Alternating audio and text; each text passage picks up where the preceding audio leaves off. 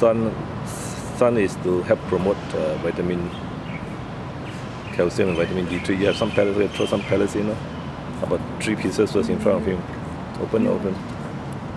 Three pieces first in front of his mouth, see whether they eat. Uh. They need some water because they need to drink and pass motion. So far I haven't passed motion yet for the last three days.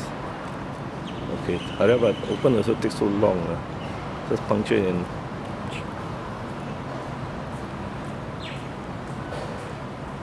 We, we open a new bottle of uh, pellets, but the girl is taking so long.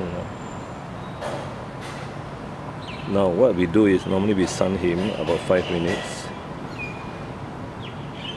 so he get his vitamin D, D3 synthesis and calcium.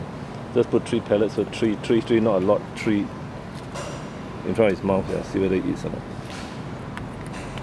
Don't draw on the floor, lah. very clumsy. Yeah. Eat. Hmm? No, it's just tasting it.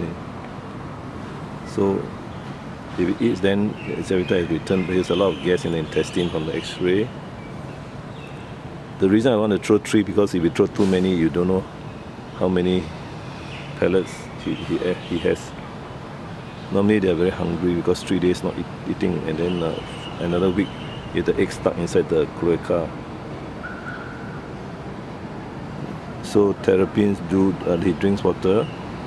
Normally terrapin, they, they eat in, they eat with the food inside the water. They don't eat directly. So how many pellets you throw in? Three.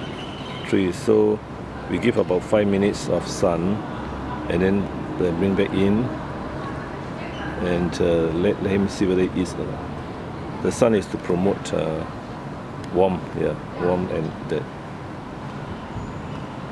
improve his uh, uh, energy.